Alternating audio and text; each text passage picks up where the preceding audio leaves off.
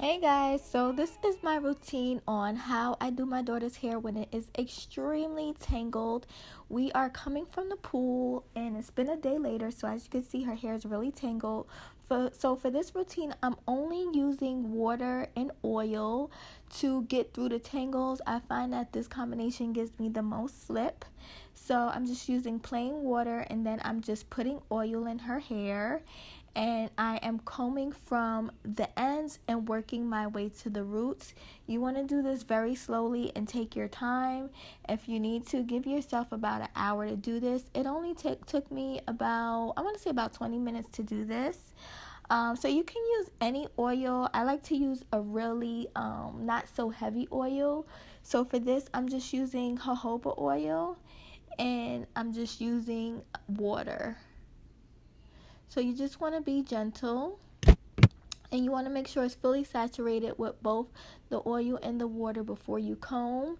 This is also known as pre-pooing, which is prepping the hair for the wash process.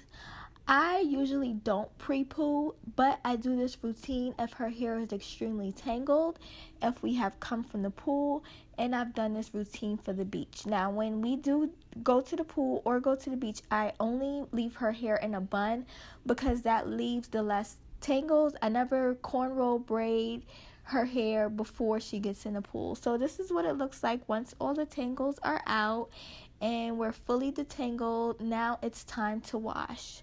So when her hair has a lot of tangles like that, the last thing that I want to do is add any more tangles. So as you can see, I'm washing her hair with the twist in it. So I'm using the Tailored Beauty Moisturizing Coconut Cream Shampoo. This is going to allow me to wash her hair retain the moisture but get it clean at the same time. So, as I said, I wash it with the twist in it because I want to eliminate any further tangling during my wash process.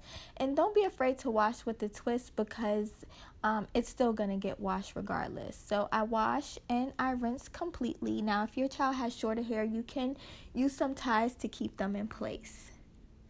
So next following up is my conditioning process and I'm using the Tailored Beauty Coconut Cream Conditioner and with those same twists I'm just unraveling each twist, adding the conditioner to her hair and I'm retwisting each section back up. So I haven't combed during this process yet. When her hair is fully rinsed, I will go ahead and detangle one more time. The detangling process should be much easier.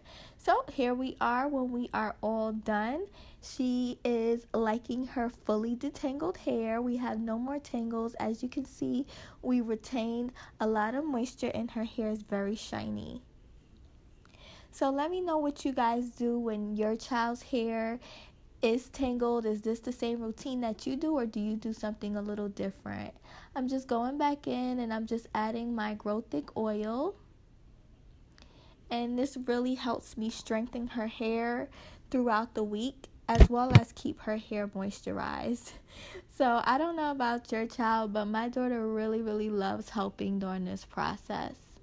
So, this is how we get everything done.